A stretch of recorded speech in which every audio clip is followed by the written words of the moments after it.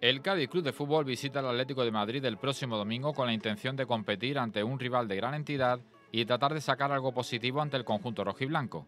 Mermado por el esfuerzo de los dos partidos ante el Real Betis y Rayo Vallecano, el conjunto de Sergio González realizará variaciones que incluso pueden variar la estructura habitual.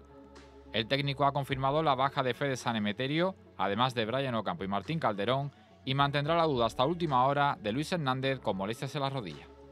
Esa, salir fuertes, salir eh, bueno, eh, contundentes para parar su primera embestida y a partir de ahí tener capacidad para también sumar pases, hacer daño, que ellos corran hacia atrás y que realmente bueno, les, les seas un, rival incómodo y sobre todo competir, competir. Al final es un equipo que sabes que ya con balón es muy bueno, pero sin balón también es muy bueno. Segunda jugada, los duelos, eso va a ser eh, importante. Atlético de Madrid, Cádiz Club de Fútbol, el domingo a partir de las 9 de la noche en el Civitas Metropolitano, con el arbitraje de Iglesias Villanueva.